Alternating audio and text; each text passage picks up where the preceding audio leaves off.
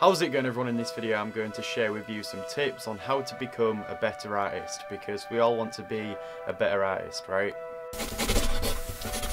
In the last video that I did, I asked you all to give me some prompts to base some drawings on, and there's a lot to choose from. I'll use more of these in the future, but for today's drawing we are going to be using the prompt futuristic armour and that was suggested by Isaiah who also asks if I can put some new artwork up on the store and it's funny you should say that because the store has been updated with new drawings available to purchase. I'll leave a link in the description. But with that being said let's get on with today's video, let's get some drawing done, I'll give you some tips and advice, you can take something away from them and hopefully become a better artist. Okay, so first of all, before I start drawing, I sometimes create small thumbnail sketches to get an idea of what what I'm going to draw. I don't do this all of the time, but it's really useful to explore different concepts and variations of your ideas in a series of smaller sketches. When drawing out some thumbnails like this, my main focus is in working out a good angle and perspective for my scene. This does require a basic understanding of perspective, but you don't have to worry too much about being real accurate when you do these. Try and explore some different compositions until you get an idea of what it is that you want to do. As you can see here, I'm not really drawing anything in detail, instead I'm just blocking out various elements like the figures and the buildings. I'm also keeping the prompt in mind that I'm using, and so I'm thinking of having this scene where two soldiers or something in their futuristic armour are uh, patrolling this street, and so I'm drawing up some different views and seeing which one would work best. Once I have something that I'm happy with, I start to think about how this image would look in detail and I try and visualise the final image.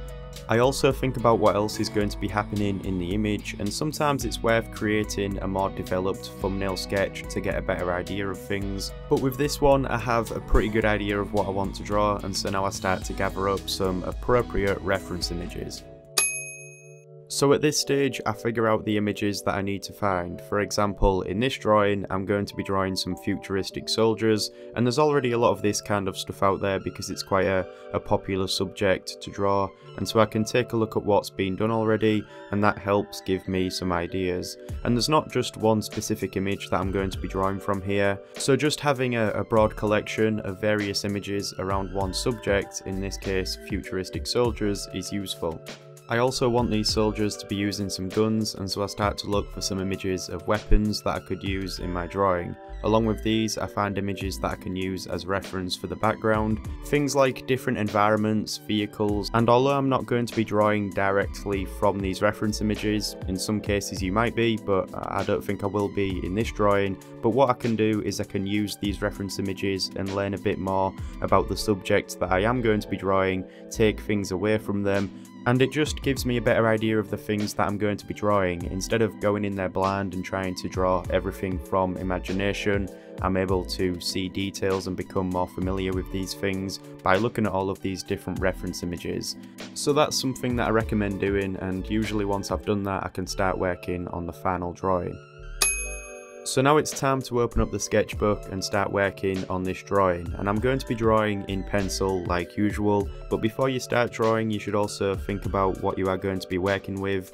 All of these things that I talk about in this video can also be applied to working with different mediums. I, I don't think you have to be working in pencil to take something away from this but think about your own process when it comes to creating artwork and the mediums that you are going to be working with, and try and plan in advance and work out the most efficient way to execute this idea that you have and it's good to be prepared before you start working, have everything you need at your disposal so that you are ready to start drawing. I mean all I'm going to be working with in this video is this pencil, I also have a ruler and an eraser and then there's this uh, sketchbook that I'm drawing in. All of the equipment will be linked in the description by the way, but with that being said, it's time to start drawing. So every time that I create a drawing, I have to consider the perspective. I already have an idea of the scene that I want to draw, and so I just need to establish the position of the horizon line and the vanishing points. Seeing as I'm working in this sketchbook here, the vanishing points will be off the page, which means that I have to estimate the convergence, and this is fairly simple once I start sketching in some of the drawing, Throughout the entire process though, I'm always reminding myself of the horizon line that I'm drawing to and making sure that my lines are converging correctly. I've done a few videos on perspective in the past that I recommend watching if you want to gain a better understanding of perspective, It's the most important aspect in any drawing and it will come into play every time you draw something. Also on a sad note, it's sometimes useful to create a perspective grid for your drawing and this can be done on a separate piece of paper and used as an underlay or you can just do it on the same paper that you are drawing on and then work over it. But it's a good idea to do this if you have trouble estimating the convergence. So a lot of you watching might already know that when I draw, I often render the drawing from the start without outlining much of it, but for the purpose of this video, I'm going to outline the entire drawing so that I can work through this in stages, and then it's easier for you to follow. So here I'm using a light pencil, and I'm starting to work out the placement of everything. And another tip is to work from left to right as well. If you are left-handed, then do the opposite, but this means that you will be smudging your lines as you work and at this stage I'm taking my time and studying the reference images to draw everything in perspective. Even though I've worked out the overall drawing through creating some thumbnail sketches, I'm still trying new things here and having fun with it. And if something doesn't work then I'll just use the eraser and draw something else. And I, I suppose that's one good thing about working in pencil like this. Also if you are working uh, digitally then the same applies there and as this is in time lapse, it might be worth me saying that the real time footage for this drawing will be over on the Patreon page, so there's a link in the description if you feel like checking that out. So as I'm outlining this drawing here, I'm going to give a few more tips surrounding some techniques that are useful. Here I'm drawing two soldiers in the street and I'm assuming they are roughly the same height. I'm drawing them in different positions with one of them being closer to the camera, and so to do this correctly, I can use some scaling techniques. Now I covered this in this figure drawing tutorial so go ahead and check that out, but another quick way to check that these are the same height is by looking at how they cross the horizon line. Remember that the horizon line is also our eye level and so it seems to be roughly at the same point as these soldiers' eye levels as well.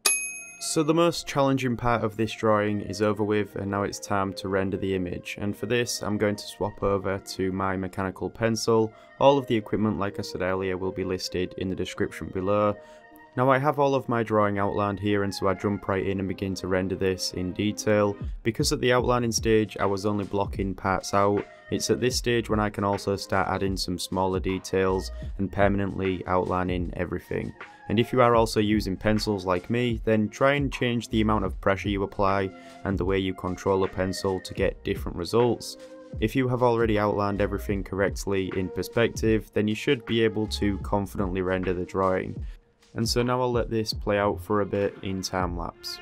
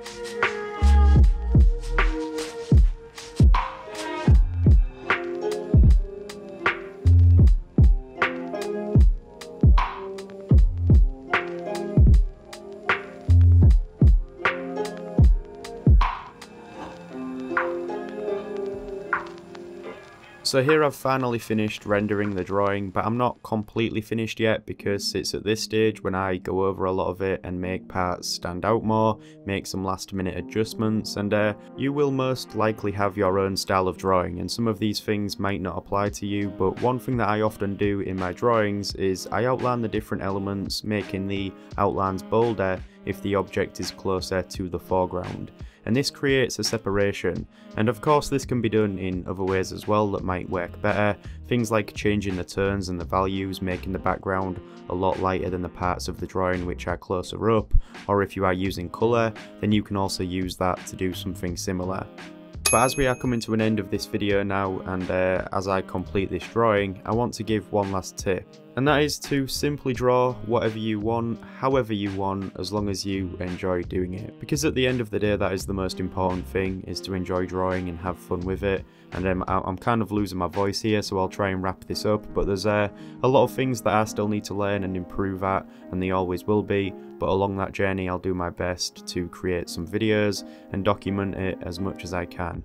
And this drawing is uh, finished now. I've just remembered that the reason why I created this drawing in the first place was because of the prompt futuristic armor. And so, yeah, thank you for leaving those suggestions. I'll be using a lot more of those prompts in some other videos. So there we go everyone, that wraps up today's video. I hope you found this useful. If you did then please give it a like, subscribe with the notifications on to stay up to date. I upload videos like this every week and then soon I'll be uploading some more content over on the second channel. So if you want to go subscribe to uh, that channel then feel free to do so. I'll link all of the things like the Patreon page, the star, uh, Instagram and Twitter down below in the description. But that's pretty much everything so thank you for watching and I'll see you in the next video. Thank you.